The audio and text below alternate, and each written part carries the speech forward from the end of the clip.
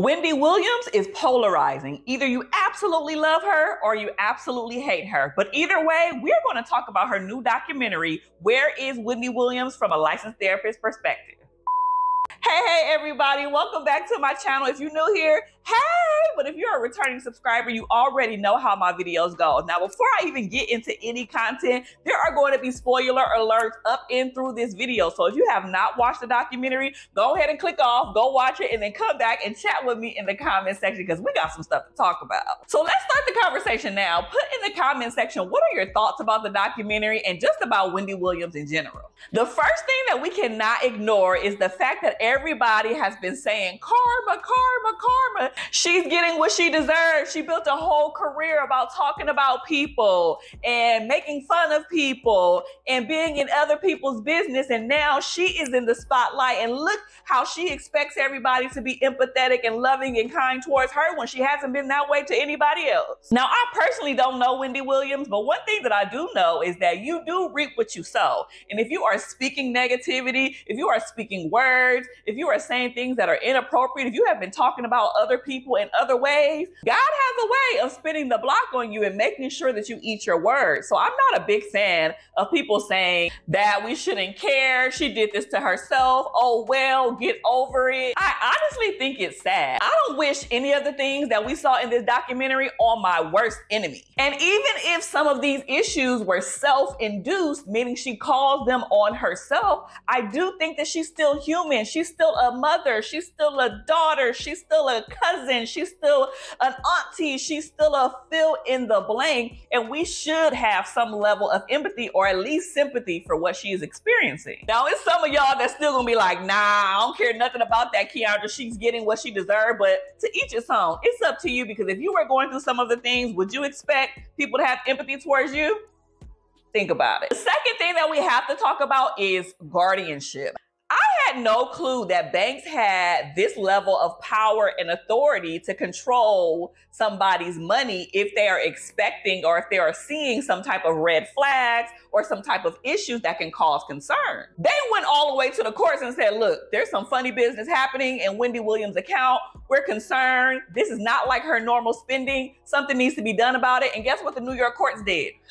they issued a court order guardianship over her finances. So if you don't know what this means in the quick and dirty version, she has no access to any of her own funds or her own money. Now we know Wendy Williams was pretty successful, so we're probably talking about millions of dollars at this point. Can you imagine building a career up, having all of the coin to be able to support yourself and your family, and now you don't have access to it?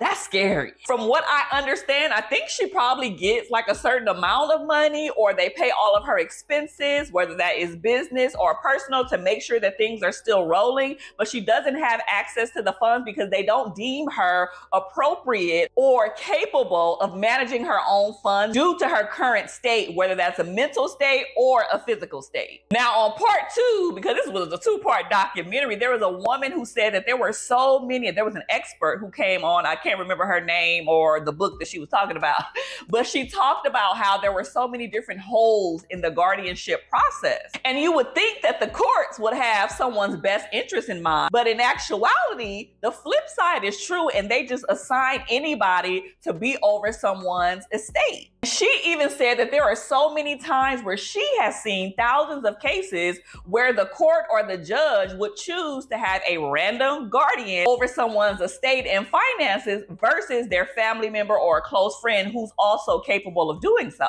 And this is where it gets tricky because everybody was like, hold on, hold on. All of the family and the friends and the uncles and the daddies and the cousins and the aunts and the sisters and all of the nieces and the nephews that she has, and even her son. How is it that 10, 20, 30, 40 people, none of them are capable of being her guardian, something's fishy here. And to be honest, from what I seen, her niece Alex was very well.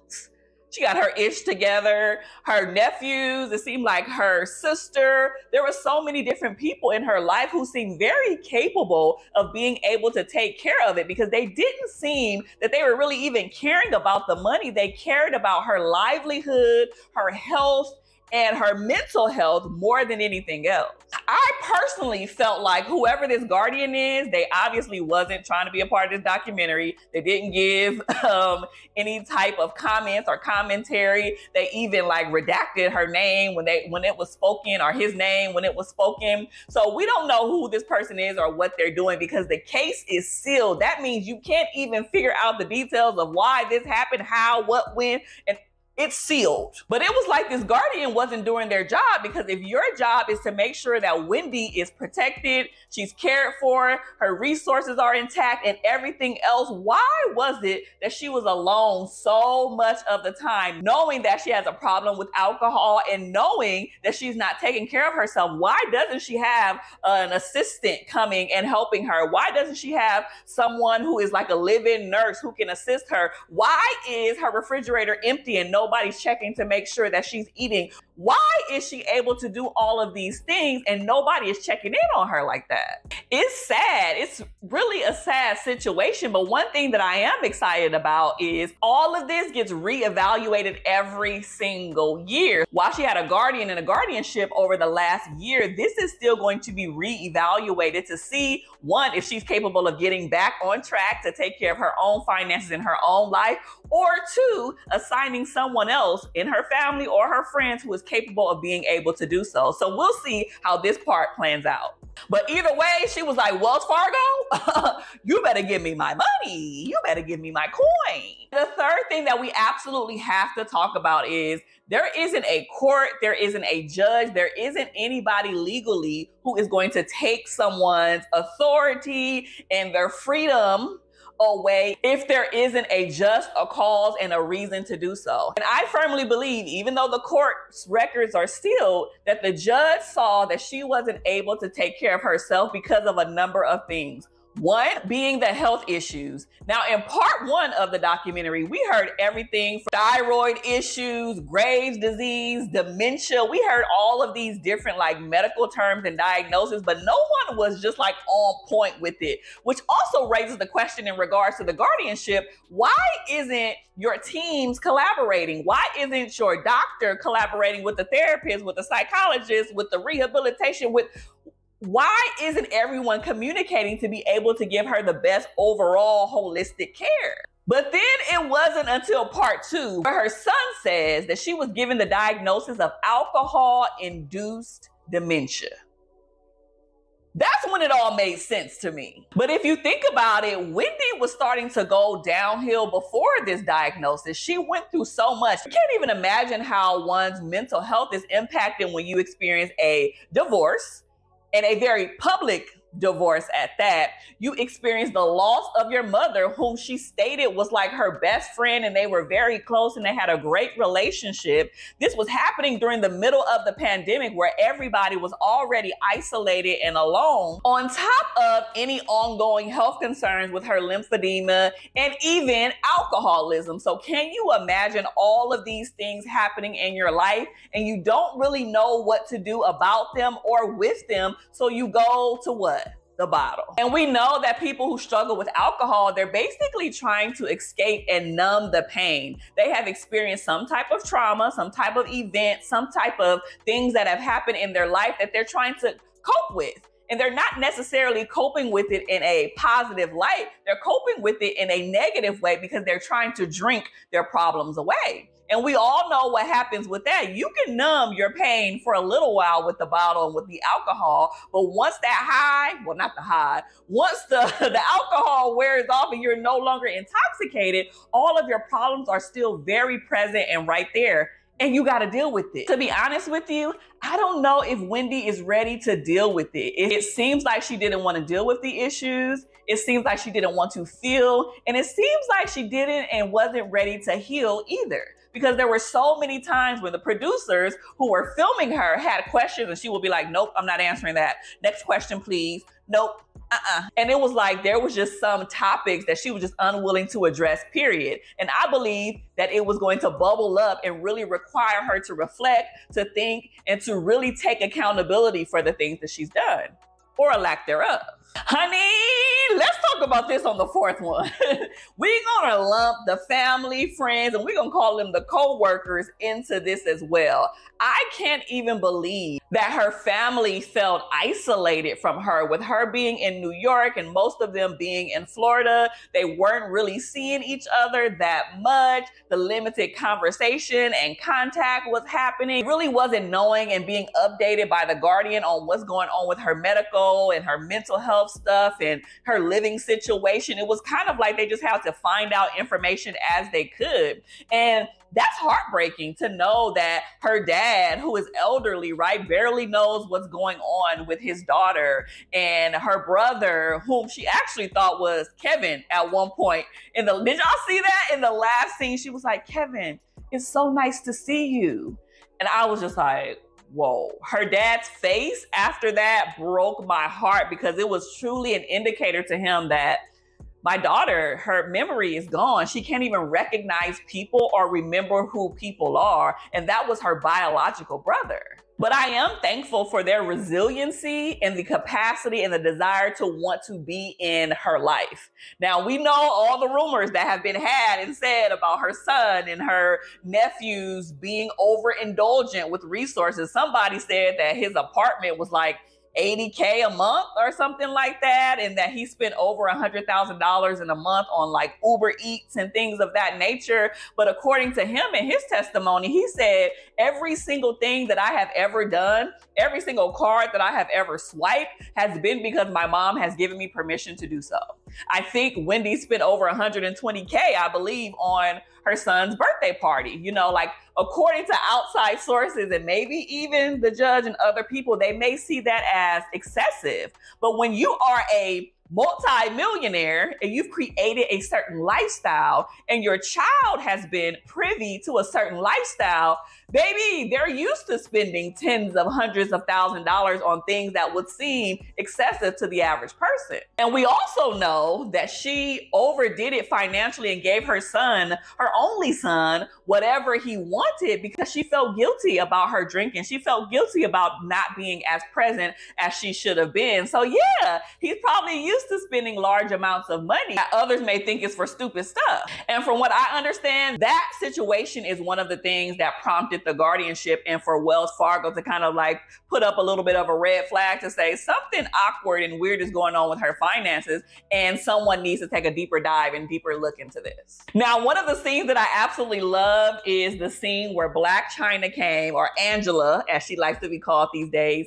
came and visited Wendy that was such a beautiful, wholesome scene. I don't know what it was about that interaction, but I felt like they both needed it. She needed that hug that Blac Chyna Angela gave her at the end. And also, Angela needed the hug too because she just kind of stayed and laid and hugged on her and gave her love. And she was one of the very few actually one of the only people or one of the only friends that we saw on the whole entire documentary. So I also thought that that was strange. I'm like, where's all her friends at? And why did they choose not to be a part of the documentary and show up and support her? She talked about so many times, I'm so lonely. I'm so bored. I don't have anything to do. And it's because she felt like nobody was present or physically there with her. She had to feel like the producers and the people who worked for her were her actual friends because it filled and filled that void that she had of the emptiness of her apartment when everybody was gone. It's a very warped thinking that the people who works for you or works with you on a particular project is your friends and you are yearning for their presence more than someone who's supposed to have been a really good friend to you in other areas and other parts of your life when things were going well. Because one of the things that bothered my whole entire soul was this manager Will and that publicist, I think her name was Shawn or something like, oh, I don't even know what to say about Will. I feel I, I, don't know him personally. From what I understand, he is a jeweler instead of being like an actual manager. So I'm not sure how he had that managerial a position for Wendy. Um, rumors have it that they used to sleep together before all of this went down when she was actually doing well. I mean, it's it's tricky, right? We heard a lot from him. It seemed like he had a lot of control and not necessarily in a bad way, but he had a lot of say so in her life. He was the one who was giving a lot of commentary. Um, there was a lot of scenes with him, you know, in it. And I get that part, but there was just something off and a little fishy about that for me that I was like, mm, there's something, some piece to the puzzle that's missing here. Is it me or did y'all feel the same way? Because one thing that I was just like, is this girl delusional? Is this publicist? I feel like she just ruined her whole career because she acted delusional. She acted blind. Like she could not see Wendy's decline. Like she couldn't see that Wendy couldn't remember things. Like she couldn't see that Wendy could barely walk and she's not eating and all of these different things. And you go up and take this girl all the way across the country to LA to have a meeting with NBC to get her back on TV when you know doggone well she's not in the best mental state to do so. That's manipulation. That's extortion. That's weird. And when she said Wendy's on the up and up and I don't see anything wrong with her and she looks perfectly fine to me, I'm like, Girl, what? so either you are trying to protect your job because you want that coin, or you are literally delusional and crazy. And we need to admit you to the psych ward. Her relationship was just so weird. Like Wendy was so rude and disrespectful to her at times.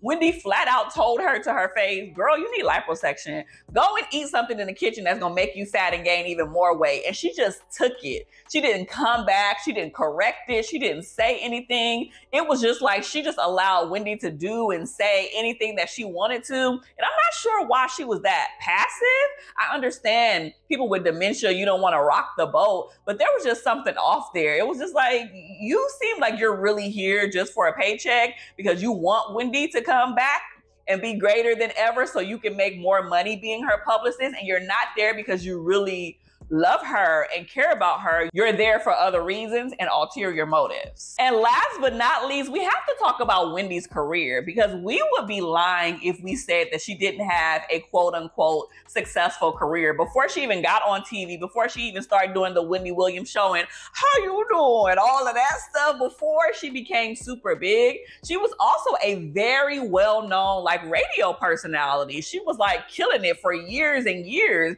And I'm not sure if she was doing like like celebrity gossip and all of that stuff on her show because obviously I didn't listen to it in the 90s. I was like a kid essentially, but she was very big. And so when she made that transition to the Wendy Williams show, she was at the height of her career. Everybody knew her, everybody loved her or hated her. For me, I've never ever, not one time, watched a full episode of the Wendy Williams show. I have watched clips and short snippets on social media that I have seen, or maybe I have watched like 10 minutes of it if she was saying something interesting, but I always turn the channel. I'm not even gonna lie. So I didn't really see what the fullness of her show is, but there, but I always, there were so many people who loved her being and they felt like she was rocking out and killing it. But one of the things that was really obvious to me was a lack of identity because she kept saying, I'm so bored, I'm so lonely, I can't wait to be on TV, and even making up stories in her head saying, Oh, I'm gonna be on TV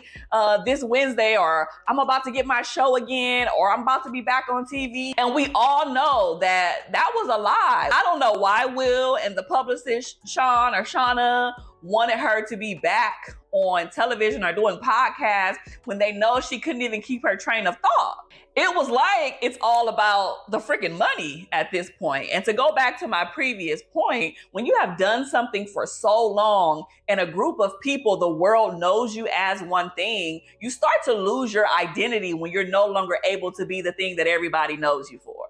So it's kind of like, who am I outside of being a TV host? And that's why I'm so adamant about getting back on TV and trying to get back on top because that's how everybody knows me. And that's a part of my identity that I have associated with the most. And that is taken away and that's stripped away from me. Who am I? Is the question. There's a full blown identity crisis happening at the root of all of these different medical issues, the divorce, mom passing away, the pandemic, dementia, alcohol. There is deeper issues that we absolutely have to explore. And there was even a scene where she was like, I don't need no therapist. I'm not going to no therapist, nothing. And I'm just like, no, you do. You need to go, boo. You need to deal with the deep issues, the core, the root cause, because all of these other things that we're seeing are just what we would call symptoms in the therapy world. So, last but not least, as I give my final thoughts on this, we have to remember that Wendy Williams was the executive producer of this very documentary. Where is Wendy Williams? That means she agreed to this, that she wanted to be a part of this, that she gave permission for this all of those things happen when you are the executive producer. So this wasn't a show that was done on her by an outside company or production company without her permission. She gave permission for this. Now, I believe when she gave permission and wanted to do this project, they probably did it under the pretenses that it was going to skyrocket her career, that she was on the up and up, that she was going to come back and she wanted to share a little bit of her story. But unfortunately, it took a very hard turn. And instead of it being a success story, we've seen her decline and go downhill. And because they're in contract, because they're already in production, because the cameras are already rolling, and I'm sure that the checks have already been cut, you can't just say, oh, forget this project. No, we can't air it on Lifetime anymore. No, you have to follow through with it, even if the documentary is taking a different turn. So we've seen it take a different turn, and we really saw her decline on so many levels. And I believe that because the documentary was a few years in the making, it seems like I'm not sure that she was in the same state of mind at the end of this as she was in the beginning when she said yes to the project in general. Woo! There was so much more that I could have talked about out of this four hour, two part essentially documentary. But I just wanted to hone in on those few topics because if not, this video would have been a million years long. But thank you so much for staying to the end, for watching. Make sure you tap into some of my other videos on celebrity from a licensed therapist perspective. And I will see you next time. Be blessed.